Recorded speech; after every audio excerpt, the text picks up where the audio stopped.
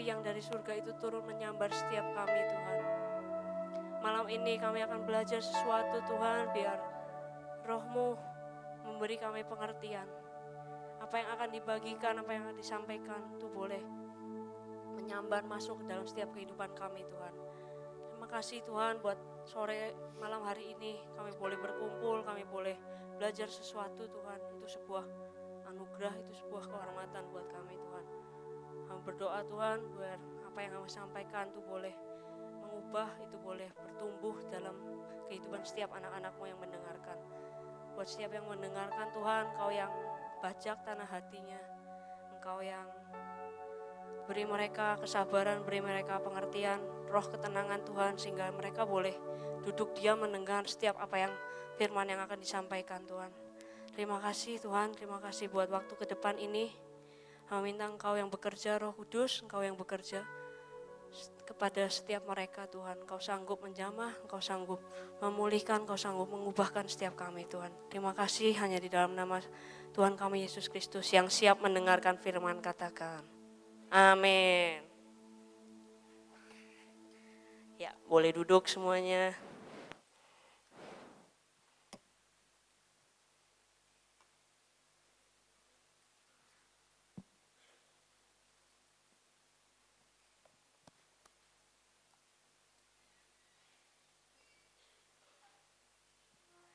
Shalom.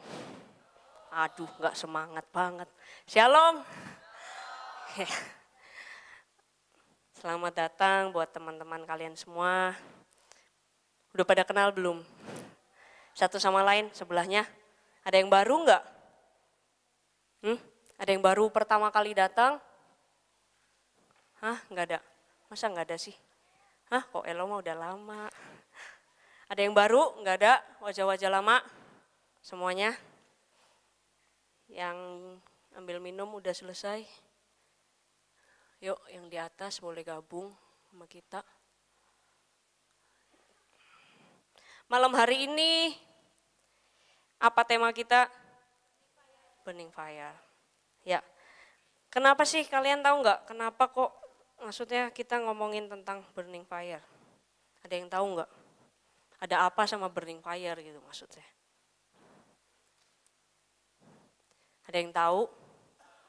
Kenapa tema kita Burning Fire? Hmm? Ada yang tahu nggak? Ayo. Jangan, maksudnya gini, saya mau, saya nggak akan panjang-panjang, cuman saya mau setiap, apa namanya, setiap perkataan, setiap firman yang disampaikan, kalian boleh menangkap, menyambar gitu. Maksudnya jangan, apa ya namanya, jangan malu-malu, misalnya tanya, nanti saya akan tanya beberapa pertanyaan sih gitu. Cuman saya mau kalian respon gitu. Waktu saya tanya, kalian jawab gitu kan. Salah nggak masalah. Mau salah, mau benar, pokoknya kalian harus merespon. Kalau memang kalian tahu ya jawab aja gitu. ya. Dan saya minta, maksudnya gini, setiap kita, saya percaya kalian datang ke sini nggak pengen kan kedatangan kalian tuh sia-sia gitu. Cuman datang nggak dapat apa-apa pulang gitu. Jadi saya minta banget paling setengah jam ke depan. Saya minta buat gadget kalian semua boleh ditaruh. Maksudnya nanti kalau misalnya ada ayat-ayat apa segala macam, nanti kita bisa tampilin di LED gitu ya. Saya minta kalian semua, saya percaya kalian ke sini mau dengerin firman. Jadi dengan sangat saya minta banget kerja sama kalian gitu supaya apa yang saya sampaikan kalian boleh nangkep gitu ya. Kita saya di sini nggak ngajarin, tapi saya juga sama-sama belajar sama kalian ya. Yang pertama next. Nah, kalau kalian perhatikan di dalam Alkitab kita itu mencatat apa ya? Ada beberapa jenis api. Maksudnya gini. Kata api itu di Alkitab dipakai untuk menggambarkan beberapa kejadian. Kalau kalian baca di situ pertama, api itu melambangkan tentang kehadiran Tuhan.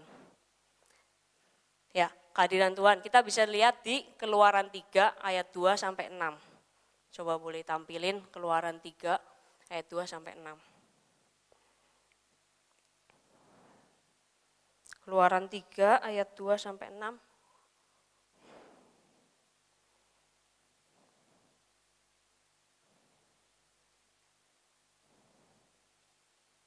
Bisa. Nah, Di situ ditulis lalu malaikat Tuhan menampakkan diri kepada Musa ini di dalam nyala api yang keluar dari semak duri.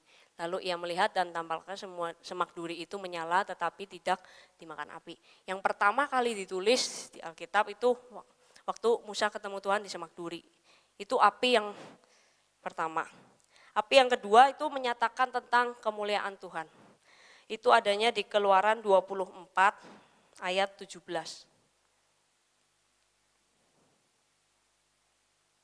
Keluaran 24 ayat 17.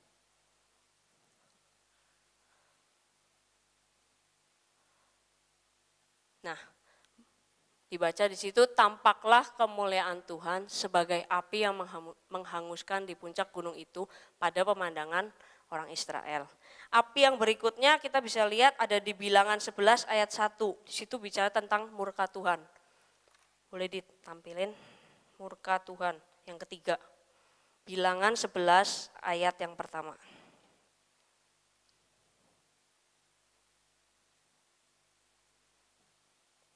Bilangan 11 ayat ke-1.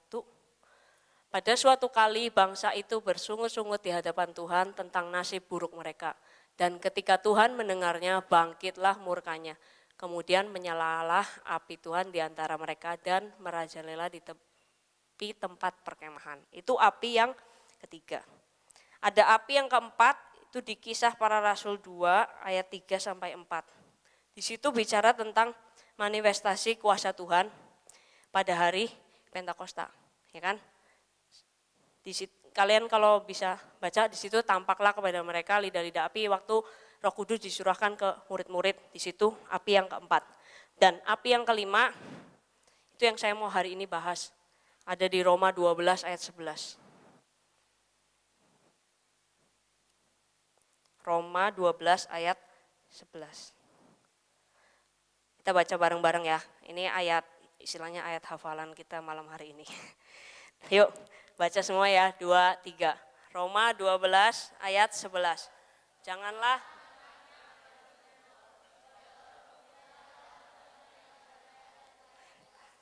Ya, boleh diklik slide berikutnya. Di sini saya lebih lebih tertarik menggunakan bahasa sehari-hari gitu. Bahasa sehari-hari di Loma 12 ayat 11 di terjemahan bahasa Indonesia sehari-hari bunyinya begini. Bekerjalah dengan rajin, jangan malas, bekerjalah untuk Tuhan dengan semangat dari roh Allah. Tuh, di situ. Dikatakan bahwa kita itu harus bekerja dengan rajin. Yang pertama, yang kedua ditekankan lagi ada kata jangan malas. Yang ketiga baru tulisannya bekerjalah untuk Tuhan dengan semangat dari roh Allah. Buat kalian saya mau tanya ada yang udah tahu acara tiga minggu ke depan? Tahu mau ada acara apa? Hmm? Ke Monas. Nah sekarang saya mau tanya, eh, apa namanya? Siapa yang ikut? Coba boleh yang udah daftar yang ikut, boleh angkat tangan. Wah banyak ya. Nah buat saya gini, selama empat minggu ini gitu kita akan belajar sama-sama untuk mempersiapkan kalian ke sana ke Monas. Kenapa? Karena kalau kalian yang tahu di sana kita akan mengadakan acara istilahnya apa ya namanya harmoni untuk Indonesia gitu. Kita akan mengadakan acara untuk bangsa kita. Dan kenapa sih temanya burning fire gitu loh. Karena gini, akan banyak lawatan-lawatan atau kegerakan Tuhan di depan sana yang membutuhkan istilahnya kalian-kalian ini, anak-anak muda gitu. Ya kan? Makanya khusus bulan ini sampai bulan Mei kita akan benar-benar bahas gimana sih caranya supaya kita tuh tetap bergairah, kita tetap punya passion melayani Tuhan gitu kan. Nah, di sini kalau kalian baca bekerjalah dengan rajin, jangan malas, bekerjalah untuk Tuhan dengan semangat dari Roh Allah. Itu yang akan kita bahas hari ini. Ya kan? Nah, pertanyaan saya, apa yang perlu dipersiapkan supaya kita bisa bekerja untuk Tuhan? Ada yang tahu? Hmm? Ada yang tahu nggak? Misalnya kalian kalian kan mau ikut nih ke Monas. Nah, saya mau tanya, kalian mau ngapain di sana gitu? Apa yang kalian persiapkan waktu kalian daftar gitu tuh, saya mau ikut ke Monas gitu. Nah, saya sekarang tanya, yang udah daftar, kalian di Monas mau ngapain? Hah? Mau ngapain di Monas coba? Nggak apa-apa jawab aja. Kalian, maksudnya gini, waktu kalian daftar, ya kan dibuka nih acara, ayo kita ada acara di Monas tanggal 28. Nah, terus kalian nih daftar bondong-bondongan ke Cianjur gitu daftar. Nah, pertanyaan saya hari ini, waktu kalian daftar sign up itu kalian mau ngapain di sana gitu? Coba. Hah, Gideon, apa mau ngapain di sana? Kamu ikut nggak? Ya, coba mau ngapain di sana? Hah? Ya, ya jelas melayani Tuhan. Ya, terus yang berikutnya, Joseph coba di Monas mau ngapain? memberi lawatan untuk seluruh Indonesia. Ada yang nggak ada yang nggak tahu nggak di Monas mau ngapain? Atau daftar daftar aja gitu. Ada yang maksudnya nggak tahu kita mau ngapain, tapi yang penting saya daftar aja dulu deh gitu. Urusan apa namanya di sana ngapain nanti aja udah pokoknya gue daftar dulu gitu biar maksudnya nggak ketinggalan gitu kan oh kita nih lagi punya acara ke Monas yuk rame-rame ke Monas istilahnya biar update up to date gitu kan ada yang gitu nggak ada yang tahu, maksudnya ada yang nggak tahu nggak, lu ngapain sih di Monas gitu. Kalau saya ditanya, misalnya mama kalian nanya, minta izin. Mas saya mau ikut ke Monas gitu. Mamanya tanya, kamu mau ngapain di Monas? Kalian jawab apa? Hmm? Ayo jawab apa coba? Maksudnya tujuan kalian apa ke sana gitu? Enggak ada yang, enggak ada, masa maksudnya masa ke sana nggak ngapa-ngapain sih? Hmm? Ya, maka dari itu istilahnya gini, kita bakalan sharing satu sama lain tentang kita tuh mau ngapain di sana itu, ya. Nah, se sebelumnya saya mau kasih contoh dulu. Nanti eh, saya panggil William, coba tolong bantu saya.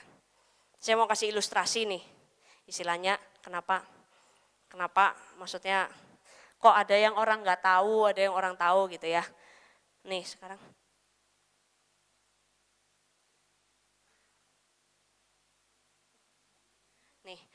Ceritanya gini, kan kalian kayak tadi tuh, dibuka pendaftaran ke Monas gitu kan.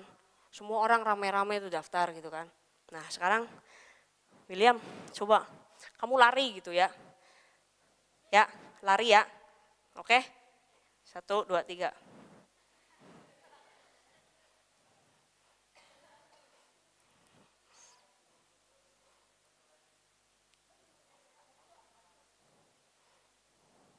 Udah? Hah? Kok udah sih? Ya udah. Capek nggak?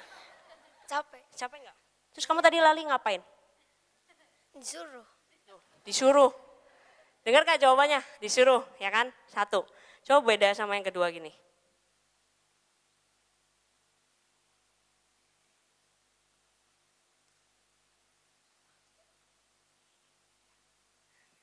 Nih, yang kedua saya kasih kasih dia, kasih tahu gitu tuh, dia suruh ngapain. Kamu lari, nggak usah lari sih sebenarnya, tolong ambilin saya minum gitu, aqua, ya, ya apalah pokoknya ambilin saya minum, ya jangan lupa ambilnya dua, terus balik lagi ke sini, oke? Okay? Ya. Eh salah, sebelah sana akuanya.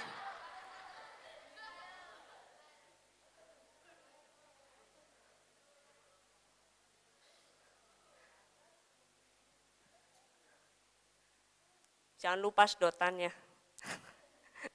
Udah belum? Hah, belum. Nah, ya, ya udah nggak apa-apa sini nggak usah. Coba bawa sini. Nih satu buat saya, satu buat kamu minum boleh. Thank you ya. Tepuk tangan dong buat William. Coba saya mau tanya, pelajaran apa yang kalian dapat dari ilustrasi saya tadi yang pertama? Hmm? Ada satu kata, maksudnya satu kata dari yang saya mau bagikan di poin saya yang pertama gitu dari ilustrasi tadi. Hmm? Tadi saya udah sebutin sih sebenarnya. Apa? Hah? Disuruh, bukan, yang lain. Apa? Tujuan, boleh diklik. Yang pertama, apa yang perlu dipersiapkan supaya, tadi kan ayatnya bilangnya gini, bekerjalah dengan rajin, jangan malas, bekerjalah untuk Tuhan dengan semangat dari roh Allah. Pertanyaan saya adalah apa yang perlu dipersiapkan supaya kita bisa bekerja untuk Tuhan. Kalau kalian dengar tadi teman kalian Gideon, terus Yosef gitu kan bilang kita mau apa namanya melayani Tuhan di sana. Kita mau apa mengadakan lawatan di sana. Nah, tapi pertanyaannya kalau kita cuma ngomong gitu, nggak tahu tujuan kita ke sana apa, itu yang bahaya gitu. Makanya kenapa saya bilang hari ini saya mau mau kasih tiga poin ini gitu. Karena saya nggak mau kalian istilahnya gini, kalian sibuk, kalian apa namanya semangat gitu ya, daftar ini, daftar itu, tapi kalian nggak tahu apa istilahnya yang kalian mau capai, gitu loh. Ya kan, kalau di situ dikatakan tujuan, ini menurut saya, jadi gini, tujuan itu buat saya landasan untuk kita melakukan sesuatu. Gitu. Saya bukan orang yang ngelakuin sesuatu itu nggak ada alasannya gitu loh. Maksudnya gitu. Ya kan? Kita baca di 1 Korintus 9 ayat 24 sampai 27. 1 Korintus 9 ayat 24 sampai 27.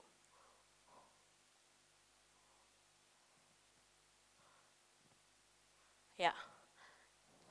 Gini aja, kan ayatnya ada panjang. Saya baca yang genap, kalian baca ganjil ya. Jadi supaya semuanya uh, berinteraksi. 1 Korintus 9 ayat 24. Tidak tahukah kamu bahwa dalam gelanggang pertandingan semua peserta turut berlari. Tetapi bahwa hanya satu orang saja yang mendapatkan hadiah. Karena itu larilah begitu rupa sehingga kamu memperolehnya. Ayat 25.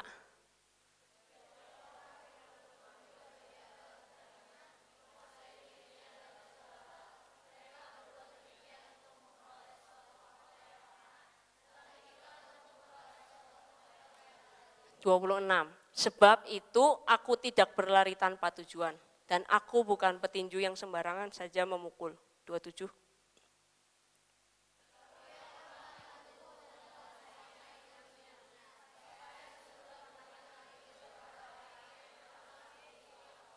Nah, jadi buat kalian semua gitu ya, dalam kalian melakukan apa pun, mau kalian mengambil suatu keputusan, mau kalian mendaftarkan diri untuk ikut acara, ikut apa pun, pastikan kalian tuh tahu tujuan kalian ikut tuh apa. Jangan istilahnya gini, kalian ikut asal-asalan, oh daftar, daftar, daftar. Tapi sampai sana kalian nggak tahu gitu, saya ngapain ya di sini ya. Saya mau ngapain nih? Katanya Tuhan mau pakai saya eh, apa menjadi agen revival gitu kan, agen pembawa lawatan. Tapi kita harus tahu gitu, maksudnya kita tanya lagi Tuhan, saya itu sebagai agen kali agenmu gitu tuh. Bagian saya tuh apa? Tujuan saya tuh apa gitu? Jangan sampai istilahnya ya kalian daftar daftar ikut KKR sana sini ikut acara sana sini tapi kalian nggak ngerti gitu tuh itu semua buat apa gitu kan. Contoh gini saya itu suka banget sama ikut lomba lari ya kan? Istilahnya apa ya? Tapi gini saya lomba lari itu bukan karena saya mau menang hadiah utama satu dua tiga gitu enggak. Tapi setiap kali saya, kalau kalian perhatikan gitu di Jakarta itu tiap minggu tuh ada event lari macam-macam. Mau mulai dari mana? Bank Mandiri ngadain, Jakarta Marathon, Jeko mau ngadain, Jekoran, apa pun acaranya itu banyak gitu. Dan hampir setiap minggu itu ada pasti ada entah di Monas, entah di Alam Sutra, entah di mana macam-macam lah. Pokoknya itu ada. Bayangin kalau saya nggak tahu tujuan saya, terus saya tiap minggu tuh daftar itu segitu list tuh dari bulan Januari sampai nanti Desember gitu. Apa yang istilahnya saya fisik saya nggak akan kuat gitu kan. Tapi waktu saya tahu tujuan saya, oh saya tuh cuma mau ikut yang ini ini ini karena yang ini hadiahnya menarik, yang ini acaranya di mana, yang ini acaranya. Itu akan mem mempermudah atau itu akan membantu saya istilahnya saya nggak ngawur gitu tuh. Semua yang ada ikut lomba lari saya daftar enggak. Itu kan. Nah, maka dari itu buat kalian semua yang belum daftar dan yang sudah daftar pulang dari sini saya kasih PR gitu. Kalian merenung, kalian boleh kalian berdoa, kalian merenung, kalian tanya Tuhan, istilahnya Tuhan saya tuh daftar, udah daftar nih. Saya di sana mau ngapain gitu. Istilahnya apa yang saya bisa lakukan untuk lawatan tersebut. Jadi pastikan jangan sampai kalian datang ke sana, tapi kalian tuh nggak tahu apa-apa gitu. Itu akan istilahnya gini, kita di sana itu untuk melayani orang, bukan untuk dilayani orang. Nah, poin yang kedua yang saya mau sampaikan adalah tentang next sacrifice. Jadi istilahnya gini, waktu kalian sudah tahu tujuan kalian, untuk mencapai tujuan kalian itu ada yang namanya satu kata yaitu pengorbanan atau sacrifice. Supaya kalian tuh bisa nyampe ke sana gitu kan.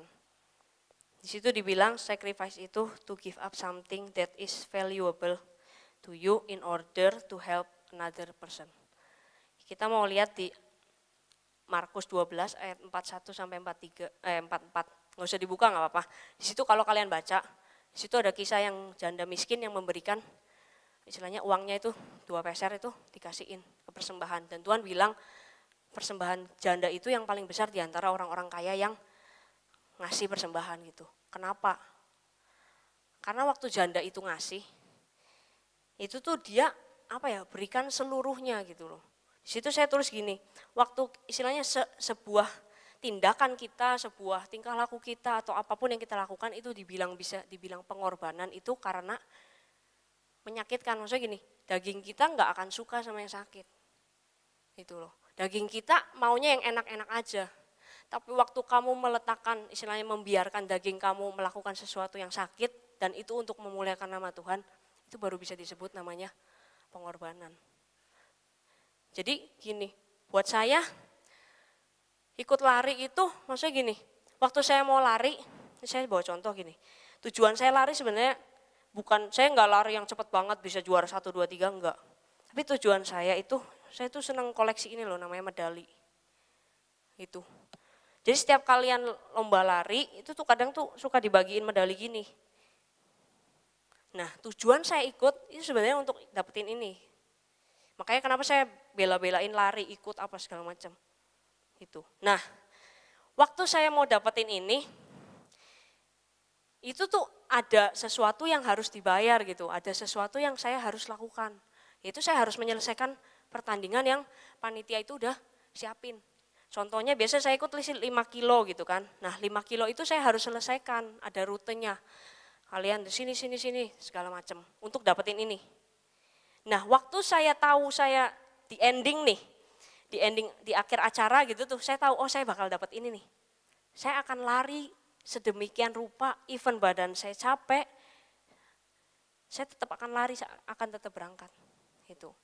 Maksudnya gini, waktu ini terakhir saya ikut 2017, itu tuh kalau nggak salah siangnya atau sorenya gitu tuh di sini nih mau latihan musik atau apa gitu tuh buat ke mana gitu saya lupa tapi yang pasti saya udah keburu sign up udah keburu daftar nih udah udah bayar apa segala macam gitu. Saya nggak karena saya apa namanya pengen dapat ini banget gitu kan. Saya cinta banget maksudnya saya pengen dapat banget nih medali ini gitu. Karena ini langka maksudnya gini baru pertama kali diadain di Indonesia gitu kan. Kalau kalian bisa baca di sini just click run itu kan. Buat yang kenal saya kalian tahu saya tuh cinta banget sama superhero gitu kan film-film superhero. Nah ini salah satunya gitu. Saya tuh sampai bela-belain ikut ini gitu ini sih contoh maksud saya gini biar kalian tuh ngerti gitu kan apa yang namanya sacrifice gitu.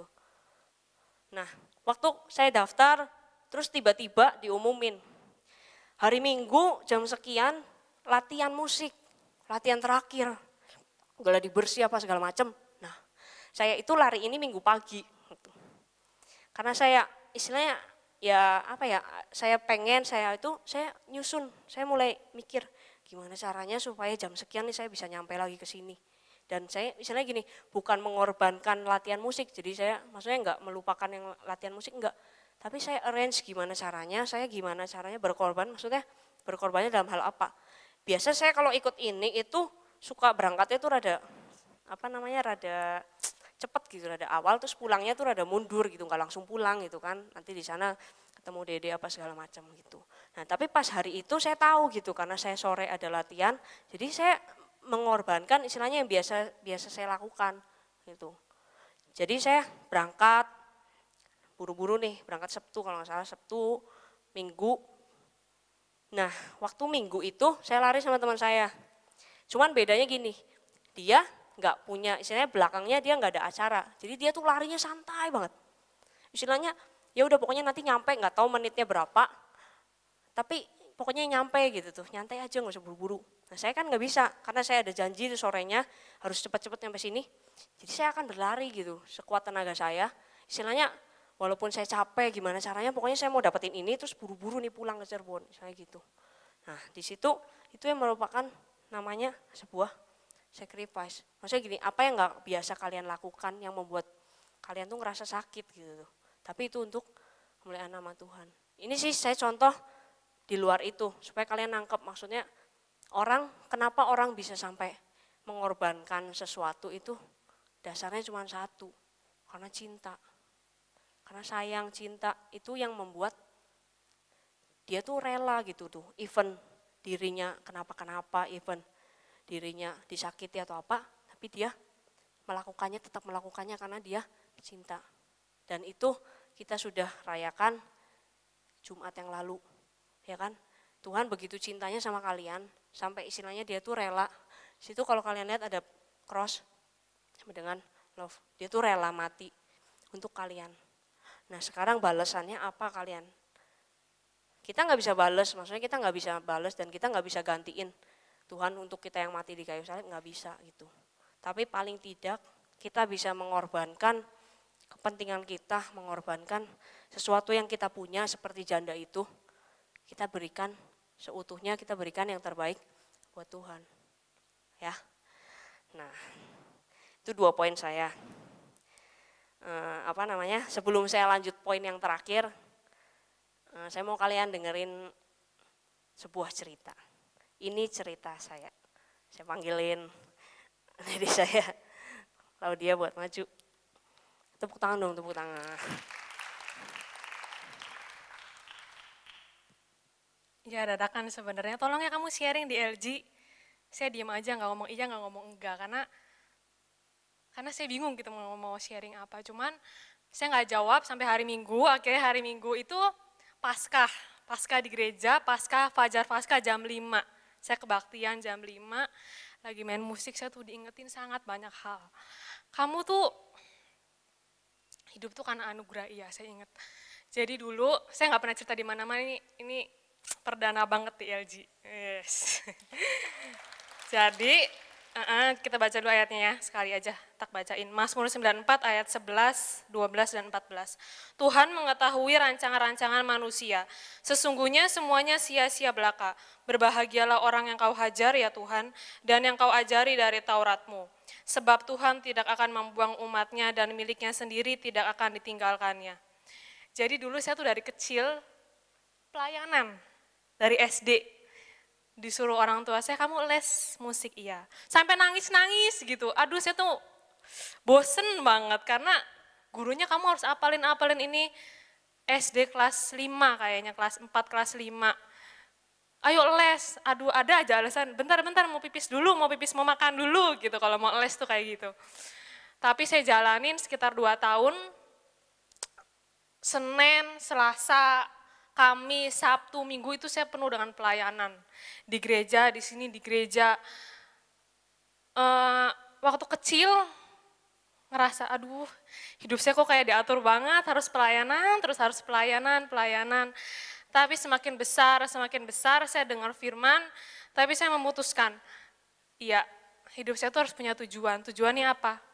Cuman sama Tuhan. Karena ada lagu kan, Cuma Tuhan alasan kita hidup kalau bukan bukan bukan buat Tuhan, buat siapa lagi? Memang kita punya tujuan mau jadi orang sukses, mau punya keluarga yang bahagia. Tapi dari lagi berapi-api nih, terus pelayanan di sini banyak sekali rintangannya. Walaupun kalian ngerasa saya kok pelayanan tuh dimarahin ya sama Devlin gitu galak gitu kan. Tapi percayalah itu tuh buat kebaikan. Jadi dulu saya main piano di situ. Lagi main ditunjuk-tunjuk, "Eh, kamu jangan main di situ gitu. Main di, di main yang satunya karena kalau piano itu biasanya buat ngelit kan. Nggak apa-apa saya terima sekali. Kita nggak mau ngomongin WL-nya siapa sih yang kayak gitu sih siapa sih yang kayak gitu? Nggak usah ngomongin itu tapi saya belajar untuk ya udah nggak apa-apa. Sekali dua kali lagi lagi doa bareng-bareng gitu. Semua pada ngeliatin karena lagi doa yang mimpin pujiannya nunjuk-nunjuk, kamu pindah, kamu pindah, kamu gak usah main, kamu gak usah main gitu kan. Gak apa-apa, cuman memang pertama nangis gitu, aduh kok kayak gini ya pelayanan. Katanya orang gereja tuh anak Tuhan, anak Tuhan, masa kita lagi pelayanan diusir-usir kayak gitu. Tapi saya mau belajar, ya udah gak apa-apa terima, terima. Tapi semenjak saya lulus SMA, saya memutuskan iya saya mau hidup untuk Tuhan masa depan saya kuliah semua saya berdoa akhirnya saya mulailah kuliah di luar negeri didaftarin satu tahun udah daftar udah dibayarin pas ke sana ternyata keadaan keluarga saya itu tidak terduga uh, papa saya kena tipu jadi rumah mobil semuanya itu dijual dan uh, bilang papa mama nggak bisa ngasih uang nggak bisa ngasih kamu uang itu udah daftar, udah udah beli tiket pesawat, udah semuanya akhirnya ke sana. Saya cuma dikasih 200 dolar. 200 dolar itu zaman itu mungkin sekitar 1,5 juta karena dolarnya masih 8 ribuan. Akhirnya saya di sana 200 dolar itu dibagi 12 itu mungkin sekitar berapa tadi ya? Pokoknya hmm, sekitar 17 dolaran. 17 dolar itu sekarang 130 ribu untuk hidup satu bulan. Sedangkan satu bulan itu saya harus beli internet itu sekitar 10 dolaran. Jadi ini saya hidup tuh gimana gitu ya, kalau nggak jajan nggak apa, oke lah saya bisa. Tapi semenjak itu, tapi Tuhan tuh ajaib. Sampai orang tuh ngomong, kamu kok bisa hidup sih? Selama setahun saya nggak pernah minta uang. E, akhirnya di sana Tuhan proses lagi luar biasa. Waktu SMA itu saya tuh ikut suka ikut olimpiade, suka ikut pokoknya dibangga-banggain lah sama sekolah. Tanpa sadar saya tuh sombong. Akhirnya nyampe di sana dites, semua yang dari Indonesia dites. Kamu masuk level 8, kamu masuk level 4. Saya masuk level berapa? Salah, saya masuk level 3 yang paling rendah di antara semua orang Indonesia. Saya ke sana dengan sepupu saya. Di sekolah dia tuh biasa lah, maksudnya suka nanya, di lihat sih PR ini, lihat sih ngajarin ini, ajarin ini. Saya pun ngerasa, kok saya dapat level yang paling rendah di antara semuanya. Ditanya sama orang pulang dari tes, kamu level berapa? Level 3. Ya udah, kalian bisa ketawa gitu ya di sini tapi di sana tuh aduh nangis banget. Akhirnya saya tidur sama orang Vietnam. Orang Vietnam itu tahu saya level 3, dia level 8. Suatu hari dia tuh lagi teleponan sama cowoknya. Cowoknya tuh bilang, kamu lagi ngapain? Saya lagi ngerjain tugas, tapi susah tugasnya kata teman saya gitu. Ya kamu tanya sama teman sekamar kamu. Tahu nggak dia jawabnya apa? Temen, kamu kamu suruh saya tanya sama teman sekamar saya tahu nggak sih dia tuh lebih bodoh dari saya. Dia ngomong bahasa Indonesia, eh bahasa Inggris, dia kira saya tuh nggak ngerti gitu kan. Aduh, ya udah, nggak apa-apa gitu kan. Akhirnya tibalah saat tes di mana-mana, saat penentuan. Kamu itu akan sekolah terima ijazah, maksudnya level ke selanjutnya dari level 8 itu ke level yang lebih tinggi lagi. Nah, dari level 8 ke level 10 aja misalnya, itu bisa. Level 6 bisa. Terus saya tanya, Bu, saya mau langsung ke level 10. Ya nggak mungkin lah.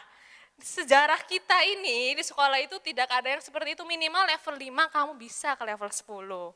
Karena yang nggak tahu sih ya, walaupun saya sekolah bisa dibilang ya ranking 1, ranking 1, tapi kelemahan saya itu bahasa Inggris.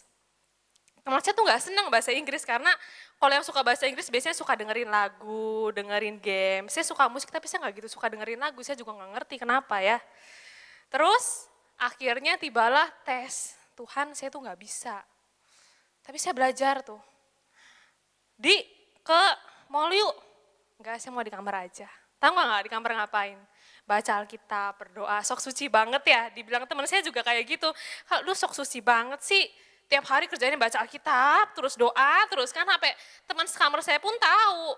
Kamu kerjaannya tuh semua pada ke clubbing, ke mana, kuliah. Terus karena di sana itu perpustakaannya enak, nyawain banyak CD, CD, CD film tuh yang baru-baru kita gratis bisa pinjam di situ. Tapi saya memutus enggak.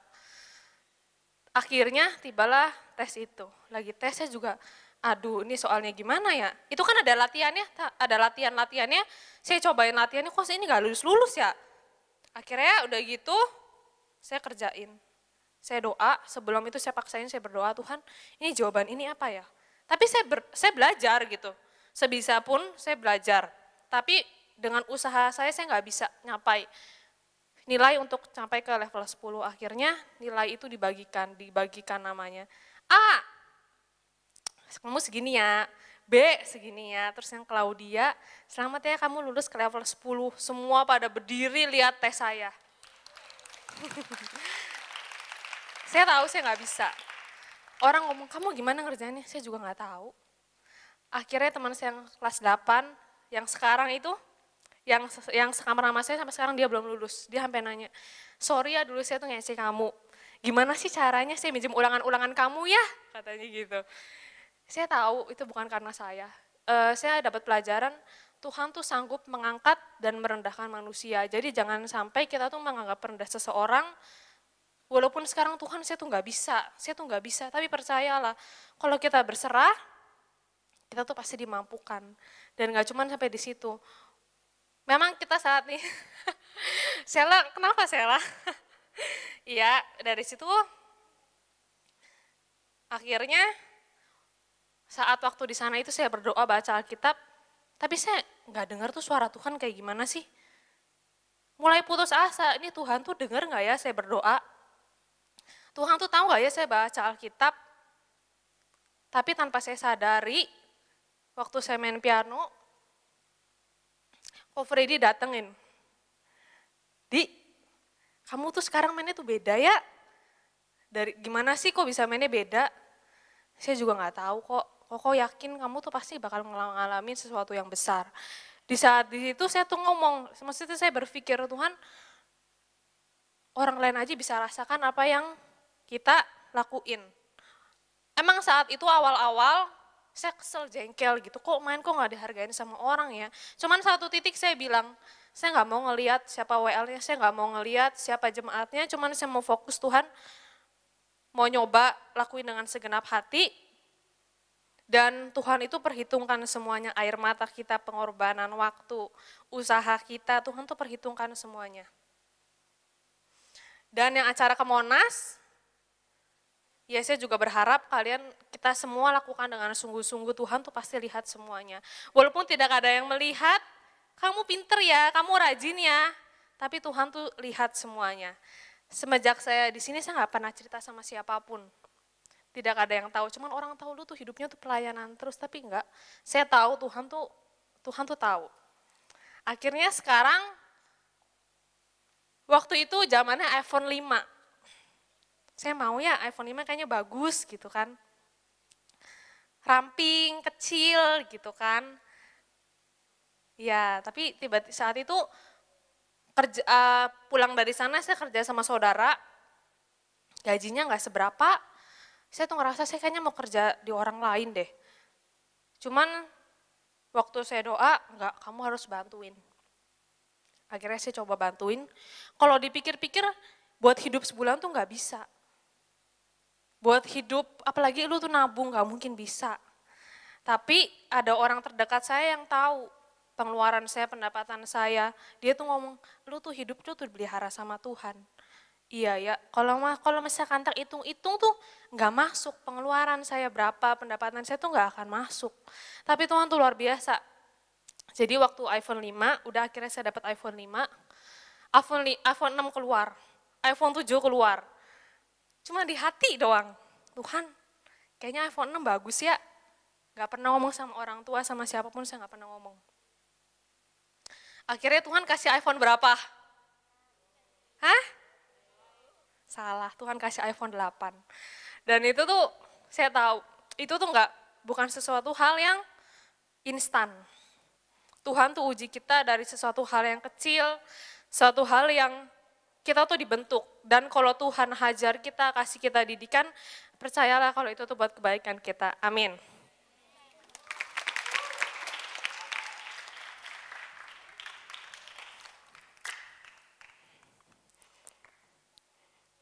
Aduh, saya bingung mau ngomong apa. ya, sebenarnya saya nggak tahu sih dia mau sharing apa gitu. Cuman waktu saya dapat apa namanya dapat saya minggu pertama ini sharing gitu tuh di hati kecil saya tuh bilang maksudnya suruh si Claudia ini sharing gitu, suruh dia ikut sharing gitu kan. Akhirnya saya ngomong-ngomong segala macam dan di situ sebenarnya gini, saya nggak tahu dia mau sharing apa dan dia tuh nggak tahu saya mau sharing apa gitu. Terus sempet saya minta mana lihat sih mau mau tahu gitu tuh, maksudnya dia mau sharing apa sih gitu tuh supaya biar sama gitu istilahnya kan ya biar sama lah maksudnya nggak satu ke mana satu ke mana gitu tuh. Cuman sampai tadi siang saya ngerjain PowerPoint juga nggak tahu sebenarnya saya, dia sharing apa. Terus udah gitu, ya kalau kalian dengar ceritanya itu salah satu yang namanya pengorbanan gitu kan.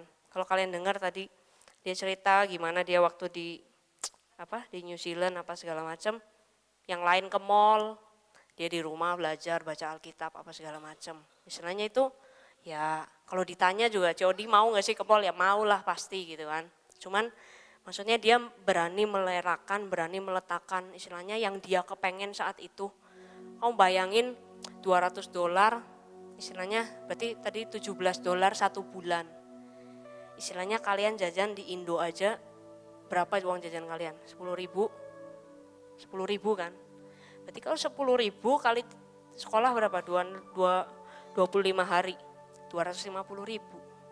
Itu 17 dolar di luar negeri saya juga nggak tahu gitu kalau bukan pemeliharaan Tuhan, kalau bukan penyertaan Tuhan, saya yakin nggak akan bisa gitu kan. Itu namanya sacrifice. Apa yang kita punya, semuanya itu berasal dari Tuhan. Nggak ada satupun dari kita yang istilahnya bisa tiba-tiba bangga, gue bisa ini, gue bisa itu. Enggak, semuanya itu karunia, semuanya itu ada karena Tuhan tuh sayang sama kita. Sampai-sampai dia rela mengorbankan dirinya di kayu salib untuk menebus kita. Supaya kita tuh bisa punya hidup, kita bisa punya masa depan, kita tuh diselamatkan dari iblis gitu. Yang terakhir, poin saya terakhir adalah mari relakan diri kita untuk Tuhan. Di cerita kalau kalian baca tentang mujizat lima roti dua ikan, di situ ada seorang anak yang istilahnya ngasih waktu murid-muridnya bingung gitu. Ini orang lima ribu mau dikasih apa ya? Mau dikasih makan apa? Mau disuruh pulang aja tah? Misalnya kita urunan nih, beli roti pun nggak ada toko roti yang bisa nyediain buat makan orang lima ribu saat itu. Tapi tiba-tiba ada satu anak datang. Dia bilang, ada padaku lima roti dan lima ketur roti dan dua ekor ikan. Di situ saya dapat, ya maksudnya gini, Tuhan bisa melakukan mujizat. Tapi dia butuh kita itu apa ya, merelakan apa yang kita punya untuk dipinjem sama Tuhan. Buat kepentingan orang banyak. Ya kan? Waktu anak itu ngasihin lima roti dua ikan, dia juga nggak tahu sih sebenarnya masa gini. Dia juga ya pokoknya dia cuma ngasihin gitu tuh. Di Alkitab nggak nulis macam-macam, cuman dia bawa waktu ditanya, misalnya ada yang punya, ada yang punya enggak, ada yang punya ini enggak. Tahu-tahu nih anak nih keluar, dia bawa lima roti sama dua ikan. Setelah dia menyerahkan itu, Tuhan berdoa, mengucap syukur, membagi-bagikannya, dan terjadilah namanya mujizat itu. Yesus memberi makan lima ribu orang. Buat kita semua juga, ini refleksi buat kita kita akan ke Monas beberapa minggu lagi. Dan kalau kalian tahu di sana akan ada banyak puluhan ribu orang di sana. Tapi maukah kalian menyerahkan kepentingan kalian? Istilahnya Tuhan pakai kalian, Tuhan pinjam kalian buat kepentingan orang banyak itu. Jangan sampai kalian daftar, kalian ikut, kalian apa. Tapi ah di sana gue tuh mau lihat Monas. Gue mau jalan-jalan ah, gue nggak pernah ke Jakarta, gue mau jalan-jalan pokoknya. Mumpung gratis bisnya, mumpung dikasih makan gratis, dikasih transport gratis. Libur lagi sekolahnya kan tanggal merah tuh. Jalan-jalan aja ke sana. Bukan itu yang Tuhan mau. Dia menginginkan rela nggak sih kepentingan kita diambil untuk kepentingan orang banyak. Itu yang namanya selflessness. Merelakan apa yang kita perlu, kita mau untuk kepentingan orang lain. Contoh paling gampang, saya punya keponakan umur 3 tahun. Uh, apa namanya, hampir setiap hari saya ketemu sama dia gitu kan. Istilahnya gini, kadang saya punya, istilahnya saya kantor gitu kan, bareng dia, dia biasa pulang sekolah, pas segala macam les, pas jam makan siang gitu tuh, jam 12 gitu dia datang kan sama papa mamanya di situ kadang gini saya bawa bekal kadang saya udah bawa bekal ini ini ini buat makan gitu teh saya udah siapin oh saya mau hari ini mau makan ini saya bawa dulu dari rumah makan ini, ini. sampai di sana dia cuma min kadang ngomong ii Jo saya mau itu gitu loh nah mungkin sebenarnya nggak gampang juga buat saya ngasihin gitu. Karena mungkin itu makanan kesukaan saya. Tapi waktu dia ngomong, ii aku mau itu. Di sini nih nggak kuat gitu. Hati saya, aduh saya sayang sama dia gitu kan. Jadi kadang dia belum minta pun kalau saya tahu itu kesukaan dia, pasti saya udah kasih dulu. Kan tawarin, mau nggak kamu ini? Walaupun misalnya roti gitu tinggal satu. Saya juga mau lapar kali gitu kan tapi saya bisa, ada hati saya bisa rela ngasihin ke dia. Karena apa? Karena saya cinta. Saya sayang sama dia. Saya nggak mau dia kelaparan. Jadi istilahnya jatah saya dikurangin buat dia. Nah beberapa minggu ke depan, pertanyaannya buat kalian, mau nggak jatah kalian, mau nggak istilahnya harusnya kesenangan kalian itu diambil, dibuat gantiin orang. Mungkin apa sih maksudnya sacrifice kalian waktu kalian mau ke Monas persiapannya? Mungkin yang nari kalian harus latihan, nggak tahu latihannya seminggu berapa kali. Pemain musik kalian harus latihan, WL apa semua, properti harus nyiapin ini itu, ini itu, ngasih makan apa segala macam. Itu salah satu sacrifice kalian. Rela nggak waktu jam main kalian ditukar sama latihan untuk memberikan yang terbaik buat Tuhan di sana.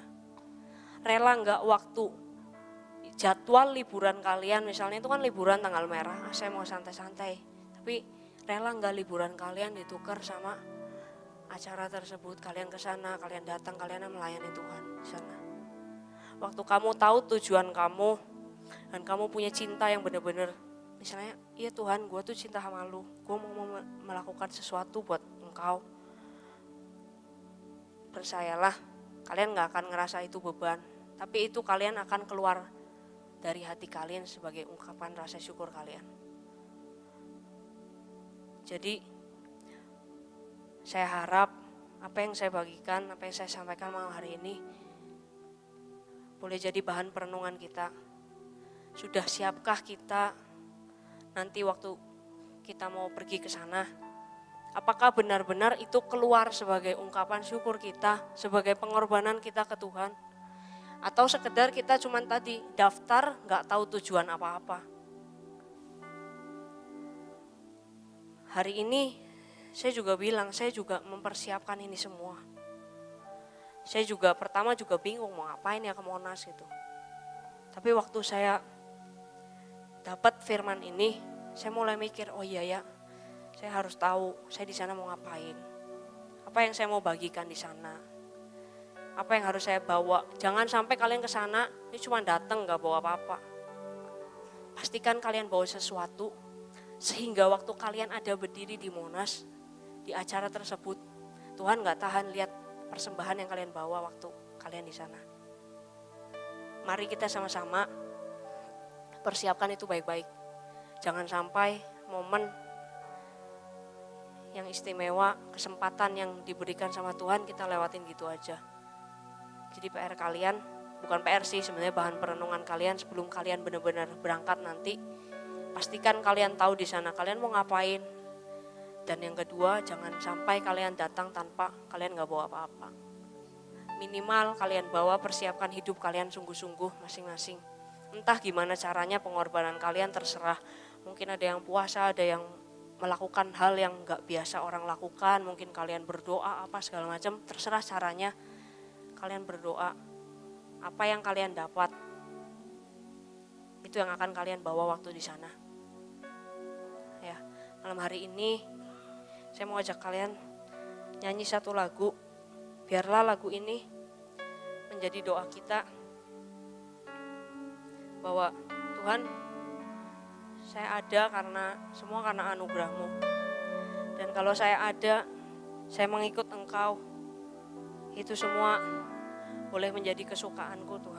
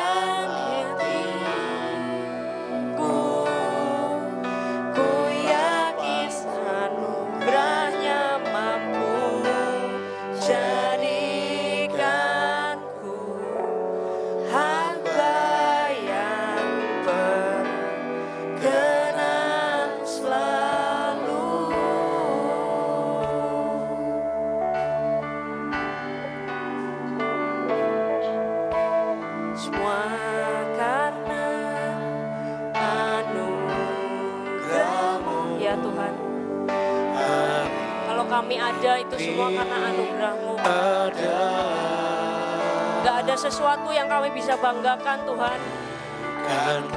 Hanya karena Engkau mengasihi kami, maka kami ada saat ini, hari ini, di tempat ini Tuhan. Oh,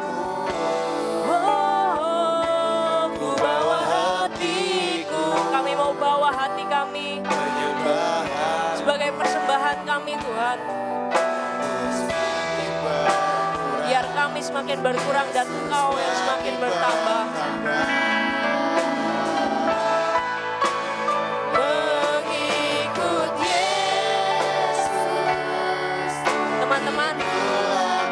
Kalian.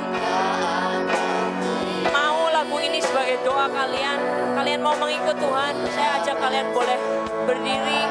Yang mau naikkan lagu ini sebagai persembahan kita, sebagai doa kita malam